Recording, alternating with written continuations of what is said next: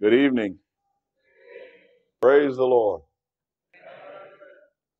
I mentioned this this morning with the other workers when I was at breakfast. I've been in the Adventist church all my life, all I've ever known.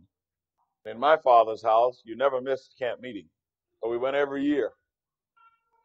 And this is the first time in my experience, Mr. President, that I have ever seen the Big tent at camp meeting filled to capacity each and every night of the week. This is a first. Give God the glory.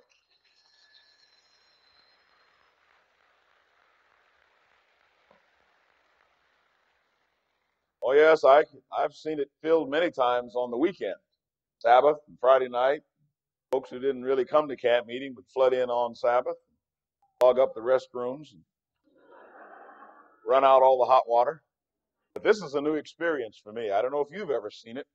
We're consistently every night during a weeknight, which means people who are working in the morning, who have not taken off from work to be at camp meeting, they're making the sacrifice to drive out from town and from the various little villages around to be here in the presence of the Lord. This is extraordinary, folk. And I just wanted to say aloud to the Lord that I have not missed its importance. This is really something special. And of course, you know, I do not claim the credit for this. I am just thrilled that the Lord allowed me to participate and see it happen and be a part of it. I would just say one thing to you. Don't ever take less than this again for camp meeting. Come out. You've discovered this week that if you will come and yield yourselves before the Lord, He will serve your needs. I've been stopped going across this campus. Matter of fact, I never can take more than three or four paces. That's all right. I like that. And you've been coming up expressing to me what the Lord has done for you personally. Many times, you know, great meetings like this, people spend their time yearning for who isn't here. Oh, I wish so and so was here. You ought to hear this message. I wish my aunt was here. I wish my husband was here. That's not what I've been hearing from you this week. All I've been hearing from you is, thank God I'm here. That's a thrill, isn't it? Yes. The only difficult thing is that two more days, it's over. And it already has started pulling at my heartstrings. Gotten to know some of you rather intimately. Even for an old flaming sanguine like me, I'm starting to remember names. You weren't in my family session, you don't know that family joke that we have together. But the ones that were there know what I mean. I'm starting to remember you, and I'm starting to hook names to faces. Jesus must be coming soon. I'll get another chance to say this, but you become very precious to me. I shall not forget you. I will continue my prayers in your behalf, and I hope that you will remember me when you come into your family circles and when you kneel in your private prayer closet, that you will call the name Walter Wright. We don't, you don't, I don't have any idea where I'll be this time next year, but I hope that it's somewhere in God's service. It doesn't really matter to me where it is in the world. I soon discovered as much as we're different, we're all alike. Quite diverse, and that's great. Amen. Don't waste any time trying to get rid of the fact that you're different. You are different. Capitalize on it. Borrow from each other. Learn from each other. Internalize those differences and give God the praise as you celebrate His wisdom in making us different. Amen. I used to think back how used to be when I was a boy. We had a lot of racial bigotry in the United States. We've been successful in driving it all underground now. You notice I didn't say we got rid of it, but we've driven it underground. It's not popular to be a bigot anymore in the United States. Very unpopular. I can remember back in the old days when every now and then they'd let us have a song or two on the program in the big tent. Not very often. Black folks, you never could trust us. We might have a good time. you didn't miss that, did you? But every time we do one of those numbers and we'd have such a good time, folk were watching us like uh, sort of spectators, invariably someone would come up afterwards and shake our hands and said, Oh, I can't wait to get to heaven. I get there, I'm going to come over on the colored folks' side and hear y'all sing. I ain't going to any segregated heaven. And to make sure I'm getting in practice down here, I'm learning to love you right now. Why, who knows? You might end up on my street. Got my spot picked out on Hallelujah Boulevard, right near the intersection of Glory Lane. Come on my street, you're going to have to have some love. Amen. Amen. Well, I don't think that's what I came to preach about tonight. Seems like a good subject. You know why? Because you're doing so well. Now, you're not where you ought to be, but you're getting there. Did you sense feeling of unity in this place last night? I could tell you didn't want to go home. You're just milling around. You just sat there for a while, dumbfounded. Slowly, we began to drift out to our tents and our rooms. Isn't that right? Reluctant to leave what God was doing. Marvelous experience. Challenge you again. Take it back to your churches. I warn you, not everybody was here.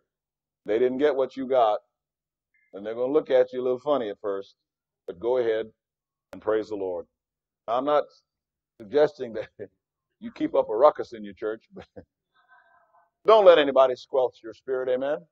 Don't let anybody pour cold water on the marvelous experience that God has given you this week at the North New Zealand camp meeting. This has been a tremendous experience for all of us. And uh, if we did less and perpetuated, God would be displeased. Don't turn over this way. I always seem to ignore you folk over here, and I want to quit that, okay? How y'all feeling over there? A minute, let me walk over here and see how you're doing. You doing all right over here? You feel like you're part of the family? Okay, yeah, you're all right then. Want to make sure. I have a tendency to preach to my right. Rights do that.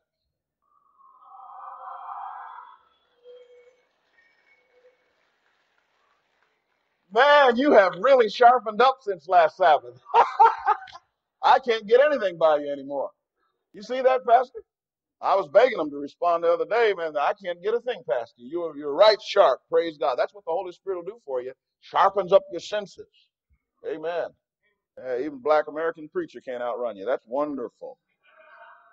Let's take a moment, talk to the Lord. I want to, if I may, I would like to set the theme of my sermon first, and then we'll have a prayer together. Exodus, the third chapter. We'll start with the first verse again. And you know what I'm going to do, don't you? Read a while. That's right.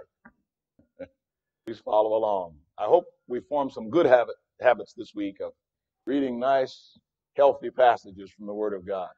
Don't be in such a hurry to rush off, read a verse or two and take it out of context and go off and cause somebody's life misery. Read enough above and enough below that you know what God's trying to say to you. Amen? Amen. It'll keep you out of trouble. Exodus, the third chapter, starting with verse 1. Now, Moses kept the flock of Jethro, his father in law, the priest of Midian. And he led the flock to the backside of the desert and came to the mountain of God, even Horeb. And the angel of the Lord appeared unto him in a flame of fire out of the midst of a bush. And he looked, and behold, the bush burned with fire, and the bush was not consumed. And Moses said, I will now turn aside and see this great sight, why the bush is not burnt. And when the Lord saw that he turned aside to see, God called unto him out of the midst of the bush and said, Moses, Moses.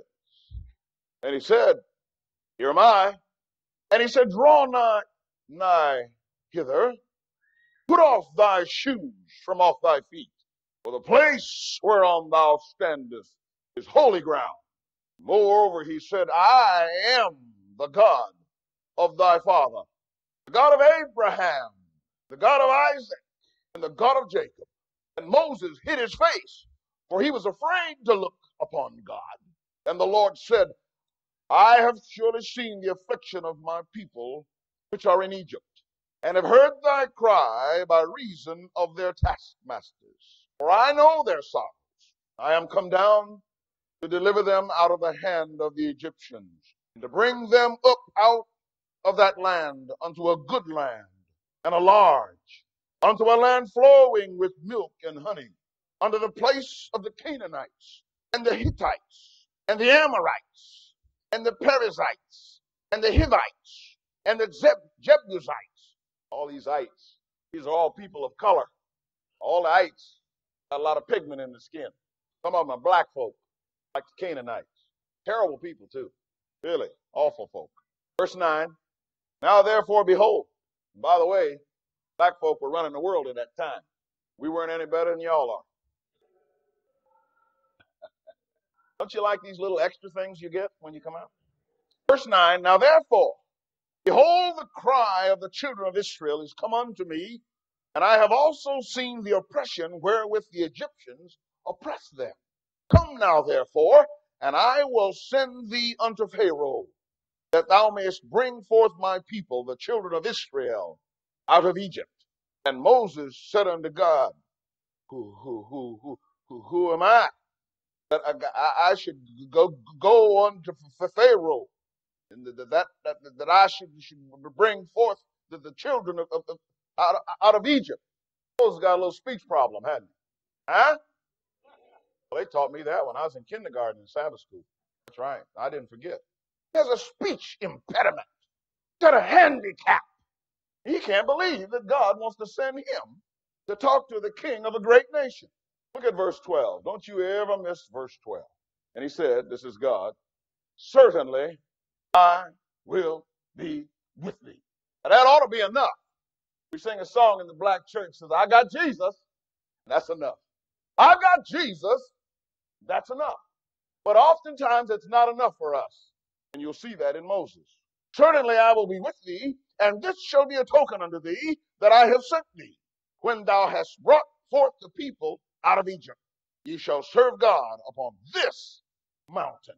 And Moses said unto God, But, behold, when I come unto the children of Israel, and shall say, say unto them, the, the, the God of, of your fathers has sent me unto you, and they shall say to me, What is his name?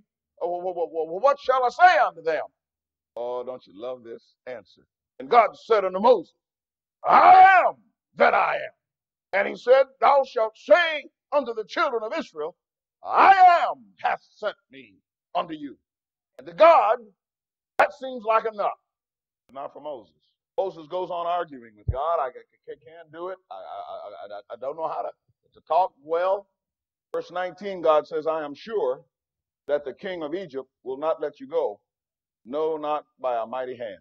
And the Lord said unto him, as Moses continues to argue with him in chapter 4, verse 1, and Moses answered and said, But, but, but behold, they will, will, will not be, be, believe me, nor hearken unto my voice, for, for they will say, the, the, the, Lord hath not appeared unto thee. The Lord said unto him in verse 2, What's that in your hand? And he said, A rock. And God said, Throw it down. And Moses threw it on the ground. And immediately it became a writhing, threatening snake, and it reared up before Moses with its head threatening and spitting at him. And the Bible says Moses took off running. I'm with Moses. How about you? And then you hear the voice of God, Moses, Come back here. But, Lord, snake, Moses, come here. Pick it up. No, no, no, Lord. Pick it up by the tail. Now, if any of you know anything about snakes, you know you don't want to pick them up. But if you must, it won't be by the tail. Amen? Moses, pick it up. Uh, uh, uh, uh pick it up, Lord. Yes, Moses. By, by, by the, the, the tail, Lord. Yes, Moses. God is good. All the time, it became a rod again. But you see, there comes a time in our lives when we just got to trust God, even if it doesn't make sense to you. You don't pick up a snake by the tail unless God says so. Amen. Then you trust God and you leave the rest to Him. Now, I want to tell you this because this is important. By the way, my message tonight conquering. What do you think? Good guess. Wrong, but a good guess. Take another guess. Wow. Excellent guess. Wrong again. Our subject tonight is conquering handicaps. Somebody had it over there. Conquering handicaps. Let's pray. Lord, please help us understand your message for us tonight. Most of us have encountered the problem we'll be dealing with this evening. Have mercy on us, Father, as we find relief in the power to conquer. I would ask you for a special favor tonight, Lord. I'd like you to send your Holy Spirit to bless this congregation. In a very special way, I want you to visit tonight Leanne Clark. is in the audience. I don't know her, but you do. A Very simple request I have for you, Father. Convince Leanne who she belongs to. She needs to understand by the purchase of Jesus' blood, all of us, including her, belong to you. Thank you. In Jesus' name. Amen. Are you among the company of the handicapped? Most of us feel that we are. We realize that we have handicaps in the realm of the physical and the educational, the spiritual, the mental, and even the moral. We look at our handicaps and we say, God cannot and will not use me. Consequently, like Moses, we surrender to our handicaps and cease to be that which God intended fully for us to be. But most of us want to conquer these handicaps. We want to know how to rise above them. From the life of Moses, my friends, I believe that our Lord will share with us tonight two principles that will we will all need to follow if we're going to conquer these handicaps in our lives. And the first one, as we go right after it this evening, I believe that we can conquer handicaps if we refuse to believe our own personal evaluation of those handicaps. What am I saying? I'm saying the first thing you need to do if you're going to conquer handicaps is you have to doubt your own diagnosis. We're good at diagnosing ourselves, aren't we? Now, there's a reason that I'm suggesting this to you. You see, for 40 long and trying years, Moses had felt that God would never, ever use him again. The man who was educated in Egypt's finest universities, this man who had gone to the best schools and been trained in the culture of Egypt and actually was an heir to the throne of Pharaoh, this man finds himself away out on the backside of the desert leading sheep, handicapped in his own mind. We should not believe our own evaluation of our handicaps because they are at least partially based on untruth. They're only partly true. Who am I, Moses says, that I should go unto Pharaoh and that I should bring forth the children of Israel out of Egypt?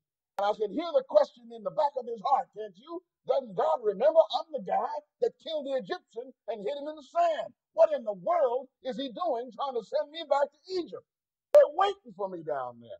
The minute I show up, they're going to lay hands on me and kill me. Yet God's taking a command, isn't he? I want you to go, Moses. I picked you. Many of us are quick to say to the Lord, pick somebody else. Leave me alone. He told a living God that he was not able to do what he was requesting of him. Now, while we went over to the seminary, I think the first E.G. White reference they taught us, at least me, was this one. Christ Object Lesson, page 333. As the will of man cooperates with the will of God, it becomes omnipotent. Whatever is to be done at his command may be accomplished in his strength. All his biddings are enabling. Did you hear that? Whatever God asks you to do, she says that the will of man, when it cooperates with the will of God, your will becomes omnipotent. Oh, that's almost too much to stand, isn't it? All you've got to do is hook up your will, your plan, with God's will and God's plan, and it becomes omnipotent. Do you know what omnipotent means? Tell me. Don't mumble at me. Tell me. All powerful. Absolutely. Means you got enough power to get done whatever it is God is instructing you to do. You ought to say amen tonight. But we don't need to dally around anymore. We don't need to keep arguing with God as Moses did. He's trying to make a point with God. You don't seem to understand a lot of things, God. But you see, God understands everything. He knows you, He knows your weaknesses, He knows your abilities. And you know what? He's not really much concerned about them. Because you know, when somebody's got so much power that nothing is impossible for him, he doesn't waste a whole lot of time considering the limitations. Would you say amen? That's the God we know, and that's the God we are privileged to serve. So you need to quit relying on your evaluation of your handicaps, first of all, because they're only partially based on the truth. He could mind a flock of sheep, this Moses, but he could never emancipate a nation in his own eyes. Thus, he wanted to believe the partial truth of his own evaluation of his handicaps more than he was willing to believe God's truth, God's evaluation. And I know by this time some of you are seeing yourselves right in Moses' shoes because we have a tendency to do this same thing. When you say that you are physically or socially or spiritually handicapped, how do you know? Is this your own evaluation or is it God's? Did you arrive at this conclusion by comparing your abilities with the abilities that you see in other people? How else would you know what kind of standard are you using? Remember, God is not expecting you to come up to the standard that he has for someone else. He only expects you to rise to the standard that he has for you. And he's got one for every one of us. As a matter of fact, I think I spent enough time on that the other night to let you know that God, even in the trials and tribulations and tests and temptations that come to us, he is God and loving enough to customize even your temptations so that they never become more than you can bear. And his demands on you and on your life are never more than you can produce. We ought to not come short of what God's expectations are of us. Secondly, you shouldn't rely on your own evaluation of your handicap, not only because they're only partially based on truth, but because they're, they're based on your past experiences. And if you look back over your life, you're bound to see some failures, isn't that right? And you can look back enough that you're afraid to go forward. At one time, Moses had been too quick and too impetuous in his desire to lead the children of Israel out of Egypt. And you know, he messed it up horribly, as I've already related. In his anxiety, he killed somebody, murdered them. That wasn't a command of God. And now we find him too reluctant to answer the call of God. First, too much of a hurry. Now we can't get him to move at all. So your past experiences will cause you sometime to feel handicapped. The experiences of past failures. He had failed in his attempt before, to free the people of God. And now this there was no reason for him to think that the present was going to be any different. Secondly, the experiences of the past few years with Moses were, were kind of weighing on his mind too. You see, when a painful and vivid memory, with a painful and, and vivid memory, Moses recalled his fears of 40 years before. Since they would not listen to him then, they would listen to him now.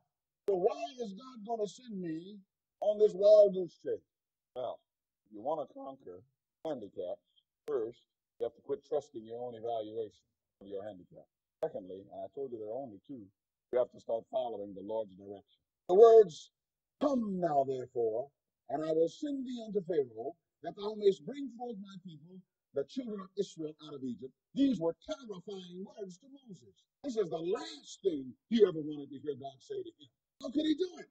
And God see I'm handicapped? Surely, if he just listens to me talk a moment, he'll see that I'm not eloquent. So he related it to God. We have a tendency to do that. You know, we like to tell God things he already knows. God, I'm not eloquent. And I'm slow of speech, Moses said. I have a hard time just getting out a word.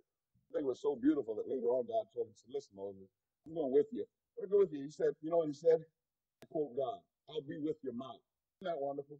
You see, God is that kind of a personal God. He zeroes in on what the problem is. You worried about your mouth, Moses? Okay, he already told Moses, I'll be with you, hadn't? That wasn't good enough. So he said, Now, Moses, I'll be with your mouth. And he's that for us here tonight. Whatever it is, God will be as specific in the blessing as you are in the relating. Don't hold back from him. He wants to bless. He wants to relieve. He wants to redeem. He wants to lift you. He wants to rescue you. Follow the Lord's direction. It's a direction that is based on God's knowledge. How surprised Moses must have been to see that angel of the Lord out there by himself, hiding from Egypt. Figure he had gotten his, uh, what do we call that? Uh, protective custody. I'll never find me way out here in the middle of nowhere. I want to imagine what this was like. It's kind of like that. What's that big rock over here in the middle of us? Yeah, you get out somewhere. You don't really expect to find you. Moses thinks he's well hidden. And it must be a shock to him, not only to see a burning bush, but to hear his voice called out in it his name called out of that book. It would have been a real curiosity. And it was for him. He said, I'm going on to see why this bush didn't burn out. But more than that, it must have been a real curiosity to hear a voice come out of it. And on top of that, it called him by name. You see, God is that way. He will come to you personally. And I like that. He, he doesn't have to deal with whole groups. He'll single you out. If you are the one that's ailing, God is kind enough to come to you in the midst of the whole crowd. And everybody might miss the blessing except you wonder who tuned up, amen. I try to stay tuned up because I don't want to miss whatever God has for me. Following God's direction is based on God's knowledge. You see, God's knowledge of our handicap is pretty extensive. The Lord knew better than Moses the full extent of his handicap, his lack of prestige and authority, and his lack of eloquence. All this was known to God, but this was not a problem. He still wanted to send him to rescue his people. And God also has a knowledge not only of our ability, but our availability. Our abilities are important to the Lord, not nearly as important as our availability. What am I saying? No matter how much lacking you may think you are, make yourself available to God. He will make up the difference. All his biddings are enablings. If he calls you, be ready to respond. Don't just be available. You see, that was the whole thing that changed my life. Because what I was doing was running from God. It wasn't about my abilities. I thought it was, really about my availability. And as soon as my, I made myself available to him, God began working miracles in my life. Made me such a believer that I'm a little half crazy, don't you think? Have you talked to me during the day? I just believe God can do anything. You've noticed that attitude, even in the counseling session. Some of you bring me really truly gross problems, you know, and I say, hey, God can fix it. You look at me like, I believe that. You know why? Based on the evidence. He's already done such marvelous things. He doesn't have to keep proving himself to over and over and over again, like those people who used to hear, look at Jesus, and Jesus would work, work miracles. The next day or two, when Jesus would come back, they'd sit there and fall down, some. There are some people like that in our churches. Amen. If your preacher does come up with a real barn burning sermon on Sabbath morning, it's not going to last you the next Sabbath. In there next Sabbath and sit up in front of him and see if you can do it again. Following the Lord's direction, not only are they based on God's knowledge, but these directions are backed by God's. God had to spend a great deal of time convincing Moses that his directions were backed by his promises. Promises that would not fail, promises that would not let Moses down. And I think that's what troubles many of us. We think God's going to get us out there and then take the lid off. Leave us standing out there. And we are surely concerned about being embarrassed. I on a plane once, and I had been running for this plane. By the way, was.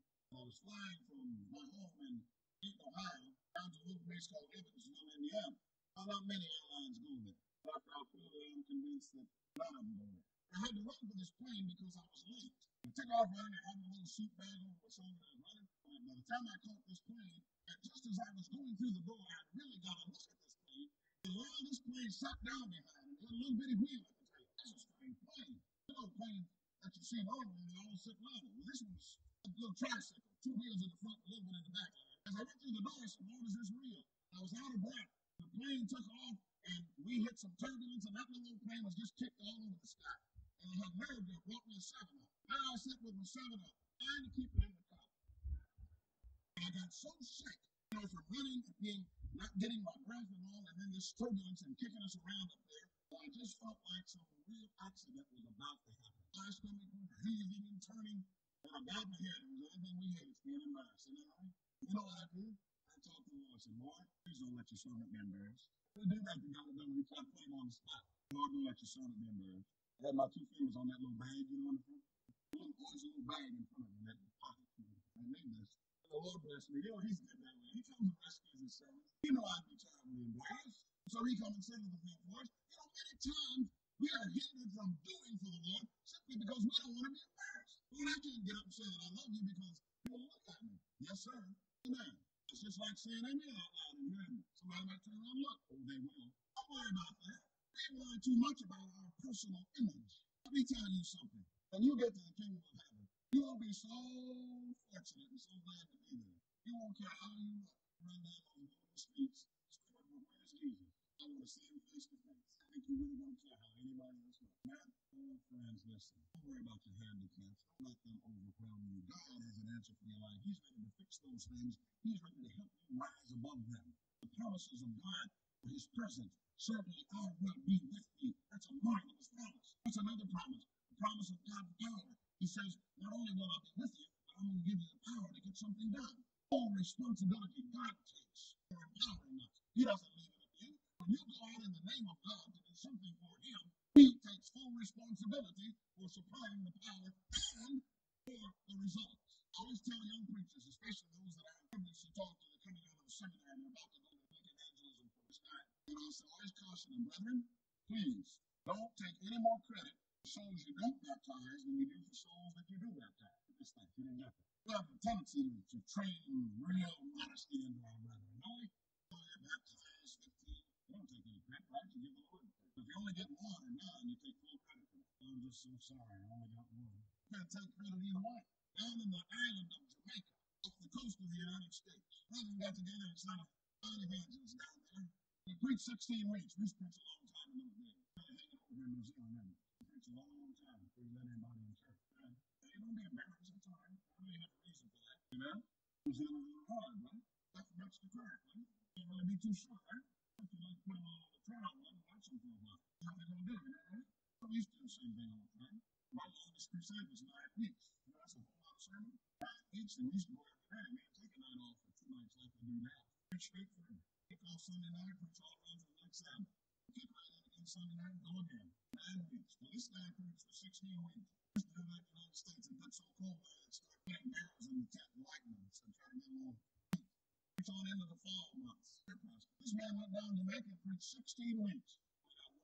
The brethren, they called him, they really gave him a Bible king. And that was it. King. My king in the United States. I recommend.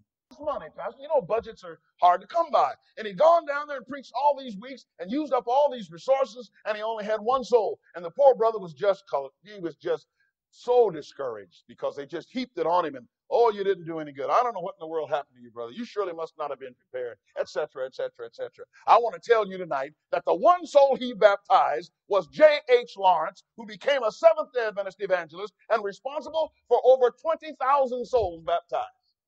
The only guy he got was the guy that could produce 20000 souls under the power of god just a few years later. How about that?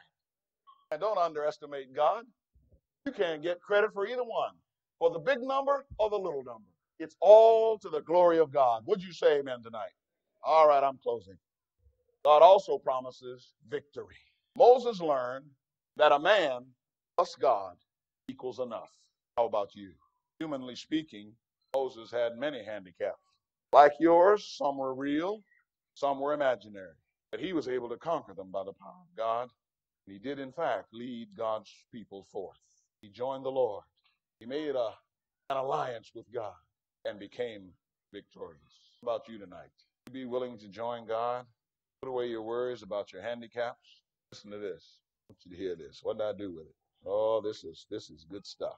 Physical, mental, and moral powers. This is the Advent Review and Sabbath Herald, November the 9th, 1897. Physical, mental, and moral powers are the endowments of God and are to be appreciated and cultivated. We are here on probation, in training for the higher life. All heaven is waiting to cooperate with those who will be subordinate to the ways and will of God. God gives grace and He expects all to use it. He supplies the power if the human mind feels any need or any disposition to receive. He never asks us to do anything without supplying the grace and power to do that very thing. And again, she repeats, all his biddings are enablings. From Messages to Young People, page 101. The heavenly intelligences will work with the human agent who seeks with determined faith that perfection of character which will reach out to perfection in action. To everyone engaged in this work, Christ says, I am at your right hand to help you. You don't need to worry. All you need to do is enlist the power of God. I believe, as I said before, He can do anything. I told you last night that I, I might tell you about my experience baptizing in the river on Thanksgiving weekend. It had a little three day meeting, started on Thursday night after the, the big dinners that we have in America on Thanksgiving. Down to the little church and we preached, and then Friday night we preached, and then Sabbath morning we preached. We opened the doors of the church for discipleship, and three men came forward. This is the strangest thing. I had no way of knowing it then, but all three of them became Adventist ministers. All of them. They're active now. But that day, these men came forward, and here's what they said. One was from Philadelphia, Pennsylvania, one was from Washington, D.C., and the other one was from right there in our hometown of Dayton. But each man said, I've had an experience this weekend with the Lord, and I don't even want to go on the highway until I've sealed it with the Lord. Now, these were not strangers to the truth and the teachings of the Adventist church. In fact, two of them were rebaptisms. I want to set that straight. These were not people who didn't know what they were getting into. They said, We've got to be baptized. This was Sabbath morning. The temperature outside was 22 degrees. Now, that's not your 22 degrees. 22 degrees here is pretty nice, isn't it? But I'm talking about 22 degrees Fahrenheit, which meant all the rivers were frozen, the pipes had frozen and burst in many homes. It was cold. And when we turned on the taps, Leighton, to run water into this church pool, we found those pipes had burst as well. No water. The men said, No, don't care what you do or how you do it, we've got to be baptized. So I told Elder C.D. Brooks, we can go down to the river where I baptized all summer. I'll never forget old C.D. You know, he said, big voice, he said, But Walt, this is not summer. Well, I had a little travel trailer. You call them caravans here, right? I had a little caravan with a heater in it. I said, We'll use this as the dressing room. And here's what we'll do we'll pray the power of God. We'll go down there next to that creek. We'll pull the caravan right up there, got, get the heat on real good. We'll dash them into the water and dash them back into the caravan. They can pull those wet clothes off before they get pneumonia. Because in Ohio, 22 degrees, you're going to get pneumonia. Well, I forgot to tell you, it wasn't 22 degrees when the men took their stand Sabbath morning. It was 55 degrees. And it's a place like Ohio where we can drop as much as 40 degrees in just a matter of hours. And that's what had happened. By the time we had Sabbath dinner and went out to baptize, it had dropped to 22 degrees. We had the thing there with the, the little heater going, and my brother in law was the head deacon. I said, Frank, are you ready for this? He said, Well, we've never done this before. He said, It's truly cold. Look at the people there. They're standing on the banks, and they had all these heavy overcoats and the mufflers and the scarves and gloves. And old CD was standing there. He had a beret on. I've got a picture of this, and you can see him standing there. My brother in law and I took each other's hand, and we stood there on the riverbank, and we had a prayer God, this is a real, real bad situation. That was a handicap, wasn't it? 22 degrees. He said, But Lord, these men are so convinced they need confirmation in you. Today, you've got to work a miracle for us. We started wading out into that river, and it was bone chilling. We got out into the center of the stream, and as we stood there and had a prayer, I always have a prayer and ask the Lord to baptize me again when I'm about to have a baptism. So you don't know that. And you see me bow my head in the pool like I did not at Waikanae. I was asking God to rebaptize me. He does. Every time I do it, He baptizes me. Yeah, two weeks later, I was out in the Pacific Ocean there off of Christchurch, and I asked Him to do it again. He was faithful. He baptized me all over again. I love it. This is not for you, This is for me. And as we prayed this prayer, Rain, we were holding hands, and I said, Amen. And my brother in law said, Do you feel that? And I said, Yeah, I sure do. And out of the bottom of that creek, with ice around the bank, heat started to move up our feet, ankles, legs, knees, hips, right up under my armpits. We stood there looking at each other, eyes getting large. I said, God's doing something, isn't he? He said, Yes, man. We started to sweat. Isn't that amazing? We were perspiring, watching the people on the bank just shivering. I said to the deaconess, Send us a first candidate. Down he came into the water, and we went through the whole ritual. We didn't rush it. And he stood there and he felt it. What'd you do out here, Pastor?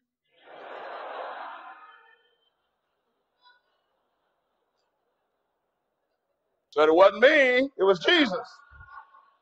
We took him down and brought him up and raced him off toward the bank. And they spread open and let him through. And he jumped in the caravan and ripped off those clothing. And we did all three of the brethren that way and got them all back safely. Not one of them even got a sniffle, nor I nor the head deacon. We had a few colds on the bank.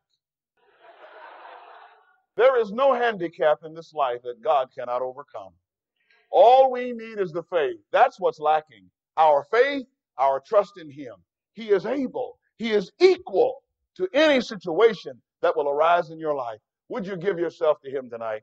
If you really trust God, if you want Him to overcome those handicaps, whether they be mental or physical or whatever they might be, I want you to stand on your feet tonight and give yourself to Him in full and complete surrender. I don't care if you've done it four other times this week. It's time to do it tonight because this is a new subject. We're talking about handicaps now, and we want God to move them back, don't we?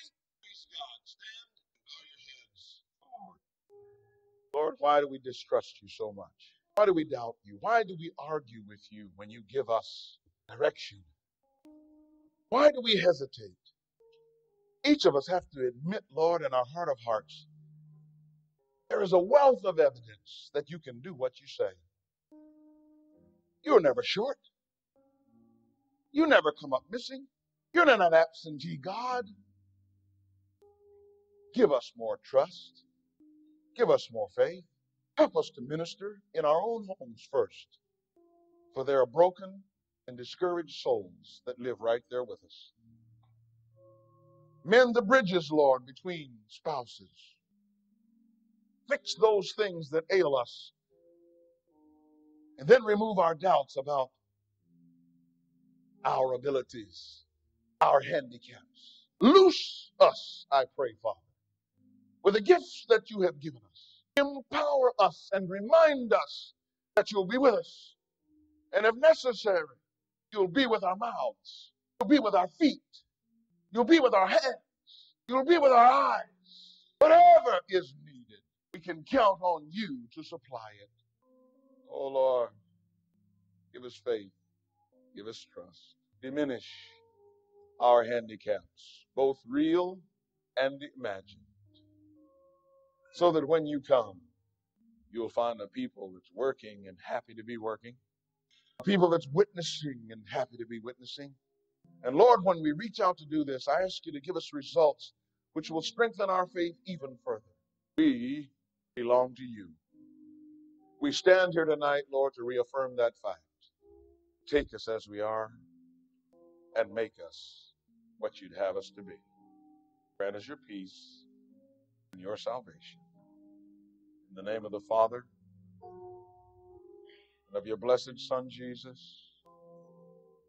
and in the name of the comforting Holy Spirit, that all the church say, Amen.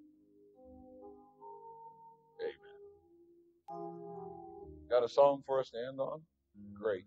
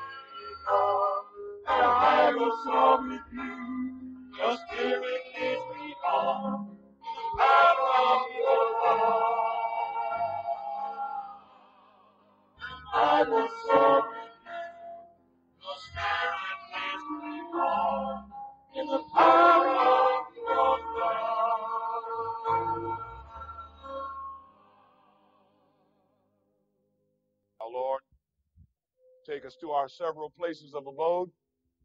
Give us a night of peace and rest in Thee. Refresh us on the morrow to confront the challenges and to receive the blessings that you have in store for each of us. To you, our loving Father, we say good night. Good night, and God bless you. Thank you, friends. Thank you.